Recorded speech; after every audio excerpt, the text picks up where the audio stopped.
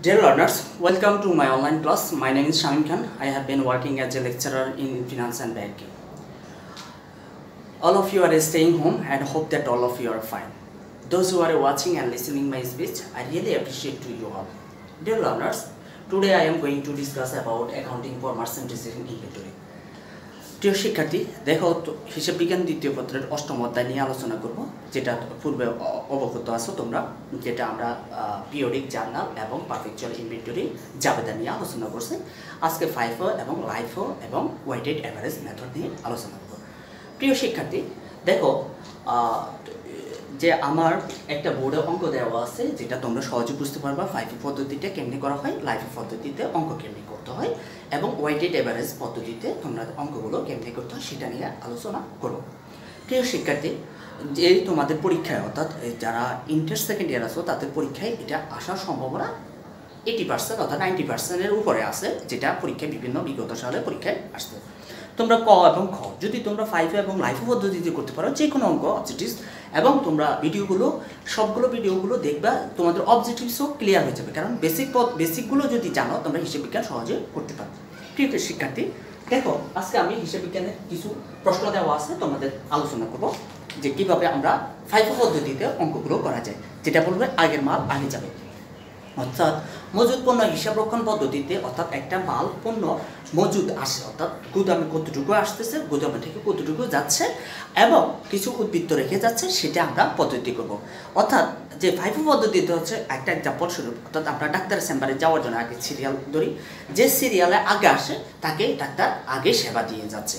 আর যে অনেক সময় দেখবা যে সিরিয়াল লাস্টে আসে, সে আগে সেবা নিয়ে যাচ্ছে। সেটা হচ্ছে যে লাস্টে আসে, আগে নিয়ে যাচ্ছে, সেটা হচ্ছে লাইফ অর্থাৎ লাস্টই ফার্স্ট আউট অর্থাৎ শেষে আসছে কিন্তু বের হয়ে যাচ্ছে প্রথমে। আবার ফাইভও হচ্ছে, আগে যা আসতেছে, আগে যাচ্ছে।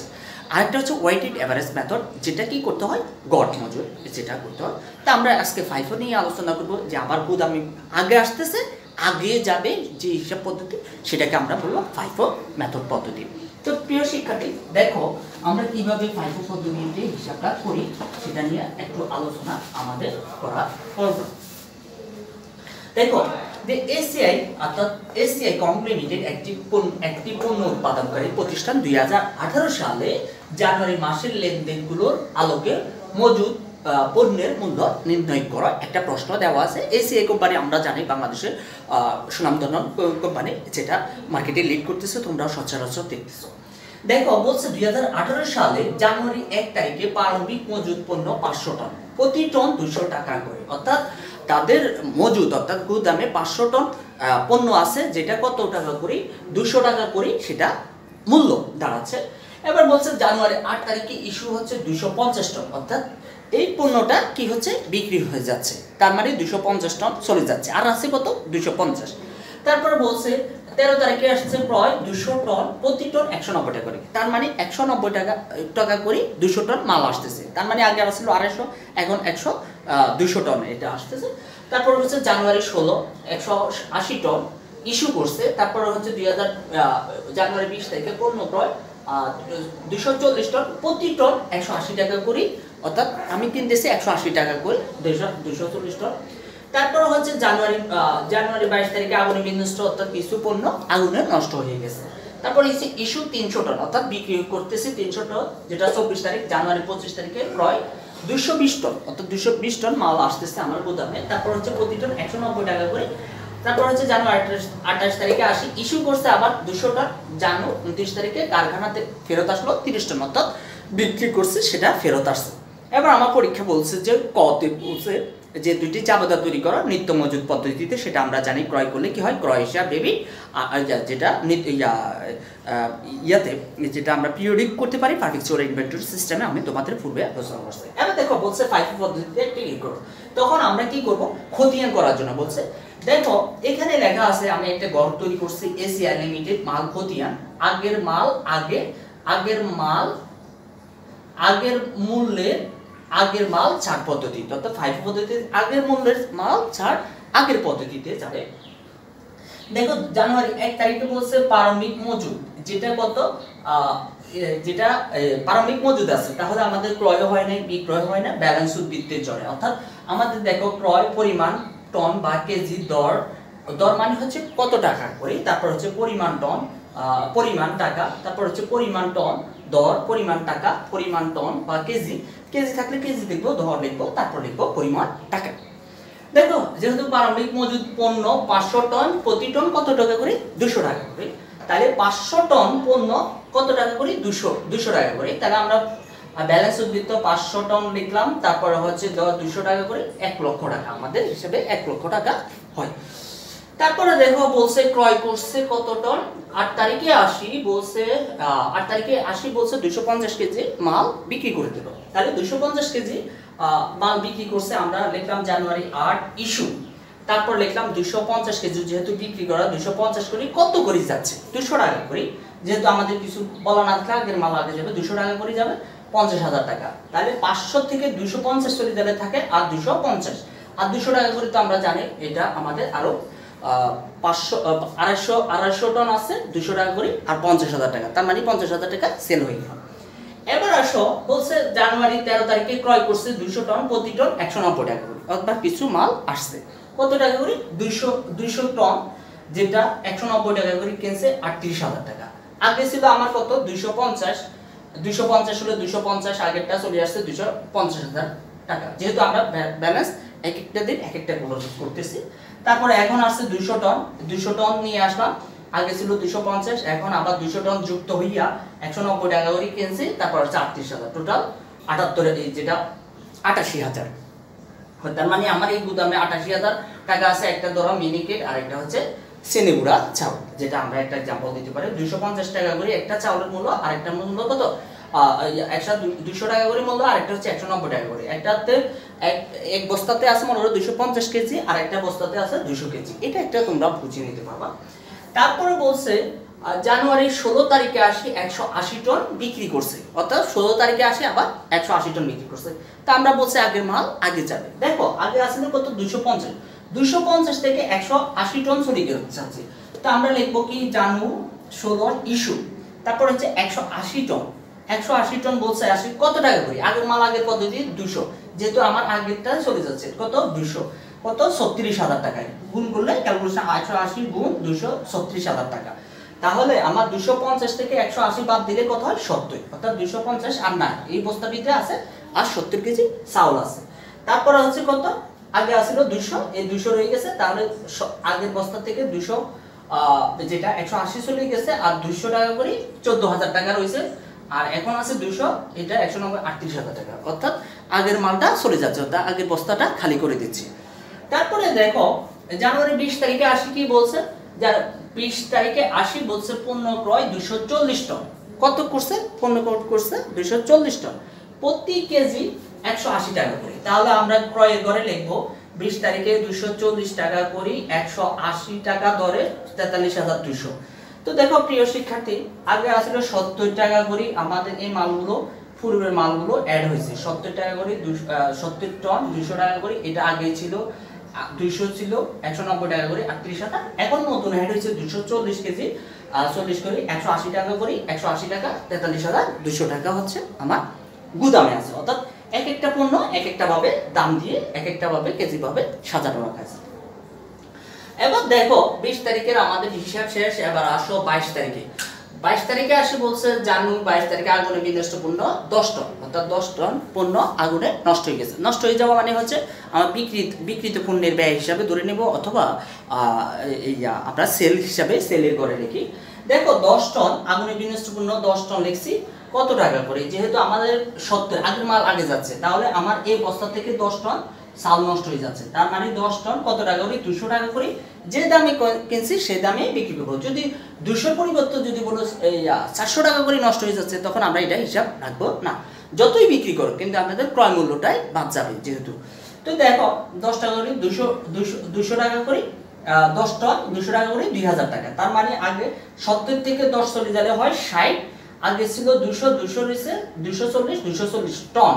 আর দর হচ্ছে দুশো টাকা করে একশো নব্বই টাকা আর একশো আশি টাকা। টোটাল আমি তিনটে ফিগার তিনটে আলাদা আলাদাভাবে ক্যালকুলেশন করতে হয় এটা, যেটা ফাইভ পদ্ধতিতে এই সিস্টেমটা করতে হয়। এবার আসো, যে চব্বিশ তারিখে বলছে ইস্যু তিনশো টন ইস্যু তিনশো টন মিনস হচ্ছে তিনশো টন চাউল বিক্রি করতেছে। এবার দেখো, প্রিয় শিক্ষার্থী, আমাদের এখানে আছে ষাট, দুশো দুশো দুশো চল্লিশ। অর্থাৎ এইখানে তিনশো টন দুশো দুশো ষাট, এখানে টোটাল আছে আমার কত? চারশো পাঁচশো টন চাউল আছে। তো দেখো যে আমার যেহেতু আগের মাল আগে যাবে, এবার তোমরা দেখো প্রশ্নটা কেমনি আগের মাল আগে যাবে। যে আগে আসলে ষাট টন, তা আমার এই আগের বস্তাটা শেষ করেই তো পরের বস্তাটা ধরবো, এটা সহজ হিসাব।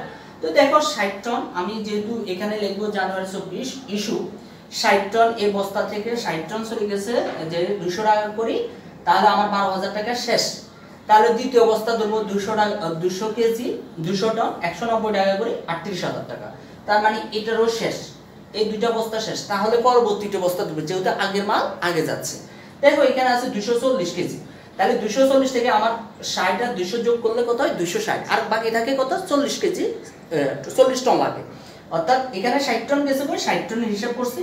দুশো টন গেছে, দুশো টনের হিসাব করছি। আর এখান থেকে নিব চল্লিশ টন। তাহলে চল্লিশ টন, একশো আশি টাকা করে টোটাল বারো হাজার, আটত্রিশ হাজার, বাহাত্তর হাজার। এটা টোটাল যোগ করছে। দেখো, আমার তাহলে এখানে দুশো এই দুইটা তো চলেই গেল। এই দুইটা চলে যাওয়ার পর এখানে দুশো চল্লিশ থেকে চল্লিশ টন চলে গেছে। আর আছে কত? দুইশো টন তাহলে একশো আশি টাকা করে দুশো টন ছত্রিশ হাজার টাকা। তার মানে আমার মজুদ আছে দুশো টন একশো আশি টাকা করে, ছত্রিশ হাজার টাকা আমার মজুদ আছে। যেটাকে বলে সমাপনী মজুদ দেখো, এবার আসো জানুয়ারি পঁচিশ তারিখে আসি বলছে ক্রয় তিনশো বিশ টন তিনশো বিশ টন কি করছে? ক্রয় করছে। তার মূল্য কত? প্রতি টন একশো নব্বই টাকা করে কিনছে। তাহলে একশো নব্বই টাকা করে কিনলে, দেখো আমরা ক্রয় দরে লিখছি দুইশো তিনশো বিশ টন একশো নব্বই টাকা করে কত গুণ করছি, অর্থাৎ কেজি টনের, টনে আর দরে গুণ করলে হয় ষাট হাজার আটশো টাকা। তাহলে দুইশো কেজি আগের ছিল, দুইশো কেজি আগেরটা আগের হিসাবে রাখি দিছি। এখন নতুন করে অ্যাড হয়েছে তিনশো বিশ কেজি একশো নব্বই টাকা করে ষাট হাজার আটশো টাকা, যেটাকে বলা হয় ফাইভ তো দেখো, আমরা স্টেপ বাই স্টেপ আসছে। আগের মাল আগে আসতেছে, অর্থাৎ যেভাবে পদ্ধতিতে। এবার আসো, বলছে জানু আঠাশ তারিখে ইস্যু হচ্ছে দুইশো টন। অর্থাৎ জানু আঠাশ তারিখে দুইশো টন কি হচ্ছে? চাউল বিক্রি করে দিচ্ছে। এবার আমরা লিখলাম জানু আঠাশ ইস্যু ইস্যুর গড়ে লিখব দুশো টন। এতো যেহেতু আমাদের দুশো টন আছে, তাহলে আমরা আর পরেরটাতে আঘাত করব না। অর্থাৎ বিক্রি করব না। দুশো টন, একশো আশি টাকা করে ছত্রিশ হাজার টাকা। তার মানে ছত্রিশ হাজার টাকা চলে যাচ্ছে। তার মানে দুশোর সাথে দুশো চলে যাচ্ছে। আর টাকাগুলো চলে যাচ্ছে, আর আছে কত? তিনশো বিশ। তিনশো বিশ হয়ে গেছে, একশো নব্বই টাকা করে ষাট হাজার আটশো টাকা। তার মানে আমার তিনশো বিশ টন মজুদ আছে, একশো নব্বই টাকা দরে পণ্য টন প্রতি যার ষাট হাজার আটশো টাকা। এবং দেখো, প্রিয় শিক্ষার্থী, এবার উনত্রিশ তারিখে আসছে বলছে কারখানা ফেরত আসলো তিরিশ টন। অর্থাৎ কারখানায় যেগুলো বিক্রি করছিল, সেটা গুণগত মানের কারণে অথবা কোনো কারণে ফেরত আসছে। কত আসছে? তিরিশ টন। দেখো, প্রিয় শিক্ষার্থী, দেখো, আমাদের পূর্বে ইস্যু করছে কত টাকা করে? ইস্যু হচ্ছে দুশো টাকা, দুশো টন তার মানে ইস্যু দুশো টন কত করে কিনছিলাম? যে আমরা দুশো টন ইস্যু করছিলাম। কোথায়? দুশো টন ইস্যু করছে, তার ভিতরে ফেরত আসছে। তো ফেরত আসলে আমরা কি করব? একশো আশি টাকা করে ফেরত আসছে, তা আমরা একশো আশি টাকা করি যেহেতু তিরিশ টন ফেরত আসছে মাল। তাহলে আমরা তিরিশ টন দেখলাম, একশো আশি টাকা করি তারপরে হচ্ছে পাঁচ হাজার চারশো টাকা। তার মানে এটা মালটা বিক্রি করার পর ফেরত আসছে। তাহলে এটা আবার আমার কি করতে হবে? প্রতিষ্ঠানে মজুত রাখতে হবে। তো তিনশো বিশ টন আগে ছিল তিনশো বিশ টন, একশো নব্বই টাকা করি। ষাট হাজার আটশো, নতুন অ্যাড হলো তিরিশ টন, একশো আশি টাকা করি, পাঁচ হাজার চারশো। তার মানে আমার টোটাল এবার পরীক্ষা সমফনী মজুদ মালের কত কত টাকা? দেখো প্রিয় শিক্ষার্থী সমফনী মজুদ মাল আমরা তিনশো বিশ আর তিরিশে যোগ করলে কত হয়? পাঁচশো। অর্থাৎ তিনশো পঞ্চাশ। এই তিনশো বিশ প্লাস তিরিশ যোগ করলে হয়, কত হয়? তিনশো পঞ্চাশ। একশো নব্বই আর একশো আশি, দুইটা যোগ করি যেটা হয়, তারপরে টাকা যোগ করছি, তাহলে আমাদের হাজার দুশো টাকা। তার মানে তিনশো পঞ্চাশ টন মজুদ আছে পণ্য, যার মূল্য দাঁড়ায় ছেষট্টি হাজার দুশো টাকা। তো প্রিয় শিক্ষার্থী, তোমরা ফাইভ পদ্ধতিটা বুঝতে পারছ। অর্থাৎ আমি যদি সাপোজ আমি তোমাদেরকে একটা বোঝা যাচ্ছি যে এই মালটা আমি কিনে নিয়ে আসলাম, অর্থাৎ লাল পণ্যটা, তোমরা দেখো, লাল পণ্যটা নিয়ে আসলাম। লাল পণ্যটাই নিয়ে আসলাম, এরপর কালোটাও নিয়ে আসলাম। দুইটা আমার মাল মজুদ আছে, অর্থাৎ মালটা মজুদ আছে। এবার হচ্ছে বিক্রি করার সময় ফাইফো পদ্ধতিতে হচ্ছে বিক্রি করার সময় আমার যেহেতু আগে আসছে যেটা, সেটা আগের মূল্যে চলে যাবে তাহলে এটা চলে গেল, এটা গেছে, এটা বিক্রি করছি। তাহলে আবার আরেকটা কিনছি আবার ধরো, কালো একটা কিনছি, এই এই কালো পণ্যটা কিনছি, কেনার পর মজুদ হয়েছে, আবার আর একটা লাল কিনলাম, লালও আসছে, তাহলে পূর্বের এটা ছিল আগে, তাহলে আগে মালটা চলে যাচ্ছে, আবার ইস্যু করলে আগে চলে যাবে, আগের দামে, তাহলে আমার যতটুকু থাকে, সেটা হচ্ছে ফাইভ এ পদ্ধতি যেটাকে বলা হয় ফার্স্ট ইন ফার্স্ট আউট যেটা আগের মাল, আগে যাবে, তো তোমরা আশা করি বুঝতে পারছ এই পদ্ধতিতে, এখন আসব আমি লাইভ এখন তোমাদেরকে, তোমাদের কোনো সমস্যা থাকার কথা না, যেহেতু এটা সহজে বুঝতে পারছ যে আগের মাল আগে যাবে। যেটা, যে- দামে ক্রয় করছি, সেই দামে বিক্রি ইস্যু হবে। কিন্তু আমি যদি মনে করো বিশ টাকা, এই প্রোডাক্টটা যদি তিরিশ টাকা কিনি, তাহলে তিরিশ টাকা মূল্যে বিক্রি হবে। এটা ফাইভ পদ্ধতি। যদি তিরিশ টাকার পরিবর্তে যদি বলা হয়, প্রতি কেজি বত্রিশ টাকা করে বিক্রি করা হলো, তাহলে আমাদের বত্রিশ টাকার হিসাব করব আমরা কত টাকার হিসাব করব? তিরিশ টাকার হিসাব করব। লাভ লোকসানের সময় তখন আমরা ওইটা করতে পারব। সেটা আলাদা বিষয়। তা আমরা ফাইভ পদ্ধতি শিখলাম। ফাইভও মিনস হচ্ছে ফার্স্ট ইন ফার্স্ট আউট এবার আসো লাইফও লাইফও মিনস হচ্ছে লাস্ট ইন ফার্স্ট আউট অর্থাৎ এবার আমরা আলোচনা করব লাইফ যেটাকে বলা হয় লাইফ পদ্ধতি।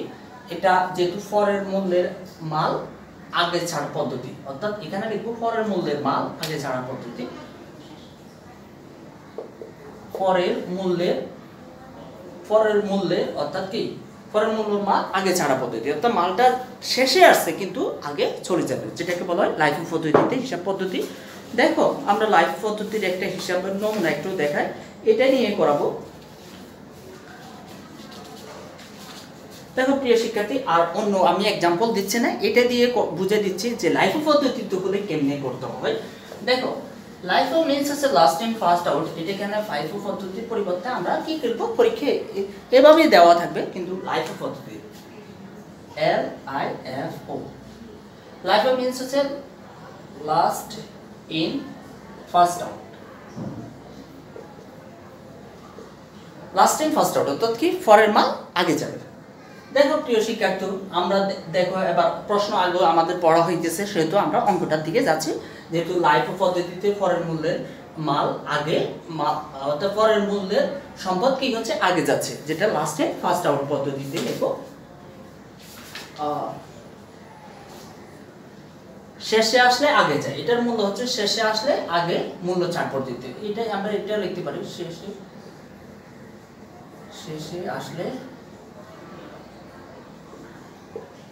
আগে আগে আগে ছাড় পদ্ধতি। শেষে আসলে আগে ছাড় পদ্ধতি, যেটা বাংলাতে হচ্ছে শেষে আসলে আগে ছাড় পদ্ধতি। দেখো, প্রিয় শিক্ষার্থী, এবার আমরা লাস্ট ইন ফার্স্ট আউট কেমনে বোঝাবো? যেটা শেষের মাল আগে যাচ্ছে। দেখো, প্রিয় শিক্ষার্থী, আমাদের দুই হাজার আট সালে জানু এক প্রারম্ভিক মজুদ পণ্য পাঁচশো টন, প্রতি টন দুশো টাকা করে। আমরা এটা যেটা পদ্ধতিতে, যেটা যেভাবে আছে সেভাবেই লিখব পাঁচশো টন দুশো টাকা করে এক লক্ষ টাকা। এটা ঠিক আছে, এটা প্রারম্ভিক মজুদ পণ্য, এই পদ্ধতিটা ঠিক থাকবে। এবার দেখো, আমাদের ইস্যু করছে কত? ইস্যু করছে বলছে দুশো পঞ্চাশ টন দুশো পঞ্চাশ টন কি করছে? বিক্রি করছে। তার মানে আমার ফরের মাল আগে যাচ্ছে। দুশো পঞ্চাশ টন, এটাও ঠিক আছে, যেহেতু আমার একটা মাল, দুশো পঞ্চাশ টন, দুশো টাকা করে পঞ্চাশ হাজার। তার মানে আমার একটাই মাল ছিল, সেই জন্য একটাই থেকে চলে যাচ্ছে দুশো পঞ্চাশ টন, দুশো টাকা করে পঞ্চাশ হাজার টাকা গেছে। এই আমাদের ফার্স্ট এটাও ঠিক ছিল, এটাও ঠিক ঠিক আছে। এখন দেখো, এখন বলছে জানুয়ারি আট তারিখে এলো, জানুয়ারি তেরো তারিখে আসে বলছে দুশো টন প্রতি টন একশো নব্বই টাকা করে। প্রতি টন একশো নব্বই টাকা করে, যা হবে তাই। দেখো, প্রতি টন একশো, দুশো কেজি একশো নব্বই টাকা করে, আটত্রিশ হাজার টাকা। তাহলে আমাদের দুশো পঞ্চাশ যেভাবে আছে, সেভাবে দুশো আর হচ্ছে একশো নব্বই, আটত্রিশ হাজার টাকা। এটা আমাদের আসতেছে। এবার দেখো, বলছে জানুয়ারি ষোলো তারিখে ইস্যু করছে একশো আশি টন একশো আশি টন মানে কি চলে যাচ্ছে? আমার টাকাটা চলে যাচ্ছে। তো তোমরা এখানে ইয়ে করবে, একশো আশি টন আমরা একশো আশি টন লিখলাম, দেখো এখানে দুশো টন অর্থাৎ পরের, এবার আমরা পূর্বে করছিলাম আগের মাল আগে যাবে। এখন পূর্ব, শেষের মাল আগে যাবে। শেষে কত আছে? আমার দুশো টন আছে, একশো নব্বই টাকা করে আটত্রিশ হাজার টাকা। তখন আমরা কি করব? শেষের মালটা এই দুশো থেকে যেহেতু আমাদের দুশো টন, একশো আশি টাকা করে, একশো আশি টন বিক্রি করতে যাচ্ছি। কত করি? এখানে নেব একশো নব্বই টাকা। তো একশো নব্বই টাকা করে যেটা হিসাবে আসে সেটা আমরা করব। ক্যালকুলেশন করলে যেটা হয় সেটাই করব। একশো ধরো আঠারো ইন্টু আমরা হিসাব করি একশো নব্বই, শূন্য শূন্য শূন্য, নয়, শূন্য শূন্য, আট, নয়, বাহাত্তরে দুই, হাতে আছে সাত। নয়কে নয় নয় আর সাতে কত? ষোলো। তার মানে তারপর হচ্ছে শূন্য, এটা তো শূন্য দেওয়া যায়, শূন্য। তারপর হচ্ছে, এটা ক্যালকুলেশন করি যেটা হয় সেটা আমরা করব। এটা ধরো সাপোজ সত্তর ধরো যে টাকাটা হয় সেটা মনে করো কি করব? যেহেতু দুশো টন, ধরো, দুশো থেকে একশো আশি কিলো আর হচ্ছে ধরো আটত্রিশ হাজার ভিতরে ছত্রিশ হাজার লিখলাম। আমরা ছত্রিশ হাজার লিখলাম পঁয়ত্রিশ হাজার টাকা চলে গেল। তোমরা ক্যালকুলেশন করে নিবা, তাহলে ক্যালকুলেশন এটা কত? একশো আশি টন আশি টন চলে যাচ্ছে এখান থেকে। দুশো থেকে একশো আশি টন চলে যাচ্ছে। আর হচ্ছে কত? একশো নব্বই টাকা করি, যেটা পঁয়ত্রিশ হাজার টাকা। তাহলে আগে আমাদের ছিল দুশো পঞ্চাশ, এখানে দুশো পঞ্চাশ রয়ে যাবে। যেহেতু আমাদের দুশো পঞ্চাশ আগে ছিল, দুশো টাকা করি। আর এখানে এক, দুশো থেকে একশো আশি চলে দিলে কত? পিছন থেকে আমাদের চাউলটা চলে যাচ্ছে। তাহলে দুশো থেকে একশো আশি চলে দিলে আর হচ্ছে কত? বিশ টন। তার মানে একশো বিশ বিশ টন উনিশ টাকা করে। উনিশ দুগুণা কত? যেটা আটত্রিশ, অর্থাৎ আটত্রিশশো টাকা। আটত্রিশ, শূন্য শূন্য। আটত্রিশশো টাকা আমার রয়ে গেল। ঠিক আছে? তো তাহলে এখানে একটা তোমরা ক্যালকুলেশন করে নিলে বুঝতে পারবা। তাহলে আমাদের আর আছে বিশ টন। এই মালটা অর্থাৎ পিছন থেকে মালটা চলে যাচ্ছে। এবার দেখো তোমাদের এবার বলছে জানুয়ারি বিশ তারিখে বলছে কি পণ্য ক্রয় দুশো চল্লিশ টন প্রতি টন একশো আশি টাকা করে। দুশো চল্লিশ টন একশো আশি টাকা করে ইয়া, কত? চার হাজার তেতাল্লিশশো তেতাল্লিশ হাজার দুশো টাকা।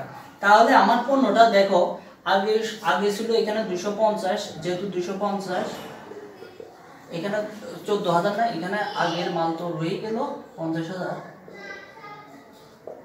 দেখো দুইশো পঞ্চাশ হয়ে গেছে, দুশো টাকা করে, এখানে পঞ্চাশ হাজার টাকা রয়ে গেল। তাহলে পঞ্চাশ হাজার, তারপরে হচ্ছে বিশ টন বিশ টন পণ্য একশো নব্বই টাকা করে, আটত্রিশশো।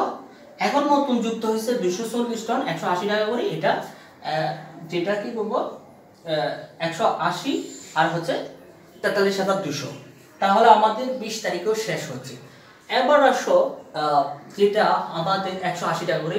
জানুয়ারি বাইশ তারিখে বলছে আগুনের বিনষ্ট পণ্য দশটা। দশ টন বলছে জানুয়ারি বিশ তারিখে আসি, বলছে আগুনে বিনষ্ট পণ্য হয়ে গেছে কত? দশ টন নষ্ট হয়ে গেছে। তাহলে আমাদের যাচ্ছে, দেখো দুশো চল্লিশ টন থেকে, এবার আমরা যেহেতু পরের মাল আগে যাচ্ছি, পরের মাল কোনটা?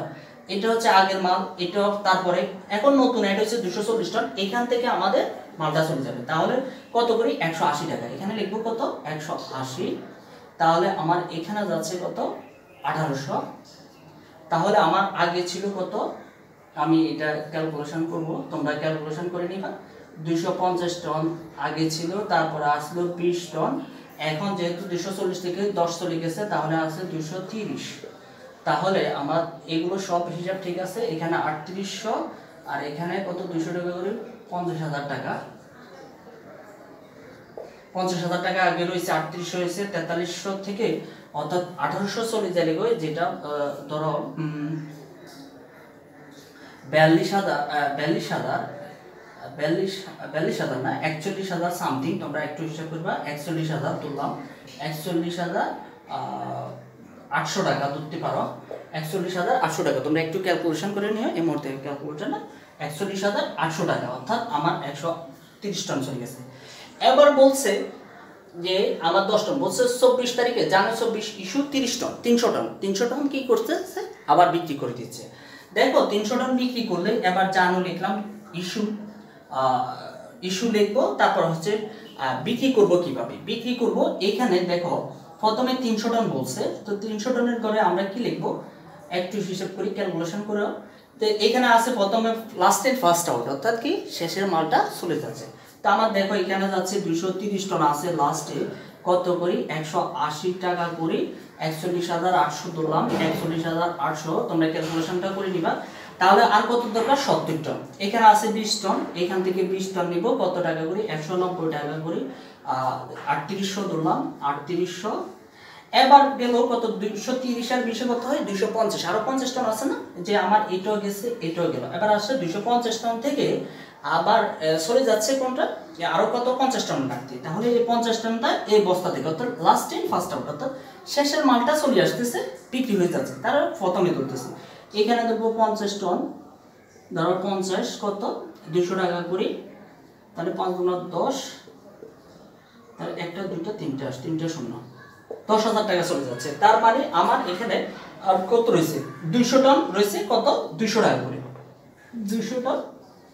দুইশো টাকা করে। তাহলে দুই দুগুণা চার, একটা দুইটা, তিনটা, চারটা, অর্থাৎ চল্লিশ হাজার টাকা আমার মজুদ আছে। এই দেখো, দুইশো পঞ্চাশ, এখান থেকে দুইশো তিরিশ গেছে, এখান থেকে বিশ গেছে, আর লাস্ট উপর থেকে পঞ্চাশ গেছে। তাহলে দশ হাজার টাকা। তাহলে দুশো করে চল্লিশ হাজার টাকা রয়ে গেছে আমার মজুদ মাল। এবার দেখো, বলছে জানুয়ারি পঁচিশ তারিখে ক্রয় তিনশো বিশ টন প্রতি টন একশো নব্বই টাকা করে। জানুয়ারি কত? ক্রয় বলছে দুশো বিশ, তিনশো বিশ টন একশো নব্বই টাকা করে। তাহলে তিনশো বিশ টন আমার মাল আসতেছে একশো নব্বই টাকা করি ষাট হাজার আটশো টাকা। তাহলে আমার তিনশো বিশ প্লাস এইখানে দুশো টন তো রয়ে গেল, তাহলে কত করি? দুশো দুশো করি। তারপর হচ্ছে এখানে তো আগে আছিল চল্লিশ হাজার চল্লিশ হাজার টাকা। এখন নতুন যুক্ত হয়েছে ষাট হাজার আটশো টাকা করে তিনশো টন যে ষাট হাজার আটশো টাকা। তার মানে আমার মাল আসতেছে। এবার দেখো, বলছে আঠাশ তারিখে আসি, বলছে ইস্যু দুশো টন। ইস্যু মানে হচ্ছে বিক্রি করা। দেখো, দুশো টন হলে তিনশো বিশ টাকা, তিনশো বিশ থেকে যাবে। তিনশো বিশ থেকে যাবে কত করে? একশো নব্বই টাকা করে। একশো নব্বই টাকা করি এই বস্তাটা থেকে চলে যাবে, অর্থাৎ শেষের থেকে যাবে। অর্থাৎ শেষের মাল আগে যাবে, যেটা লাইফ পদ্ধতিতে তাহলে এটা কত হয়? আটত্রিশ। আটত্রিশ উনিশ দুগুণে আটত্রিশ, একটা, দুইটা, তিনটা তিনটা শূন্য।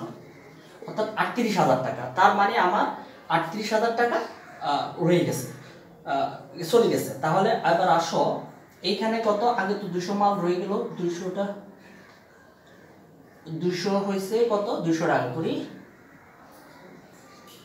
এখানে ষাট হাজার হবে না? এখানে হবে চল্লিশ হাজার। চল্লিশ হাজার টাকা লিখলাম। এবার দেখো, এখানে তিনশো বিশ থেকে দুশো চলে যাচ্ছে আর কত রয়ে গেছে? একশো বিশ। এই একশো বিশ। কত টাকা করি? একশো নব্বই টাকা করি।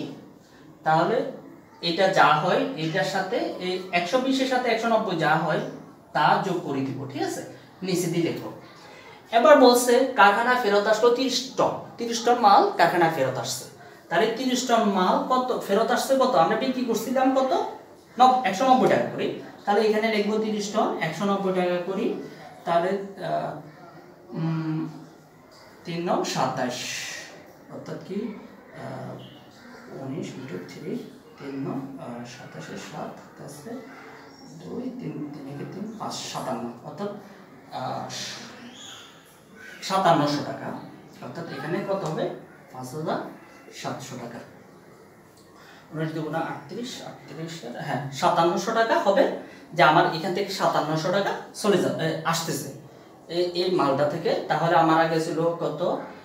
দুইশো দুইশো একশো বিশ, এখন নতুন অ্যাড হলো তিরিশ। তাহলে দেখো, প্রিয় শিক্ষার্থী, দুইশো দুইশো টাকা করে, তারপর হচ্ছে একশো নব্বই টাকা করি, তারপর হচ্ছে আবার একশো নব্বই টাকা করি তো একশো নব্বই টাকা করি ধরি আবার আগে ছিল কত? যেটা হোক এটা ষাট ষাট হাজার টাকা না এটা হচ্ছে চল্লিশ হাজার টাকা।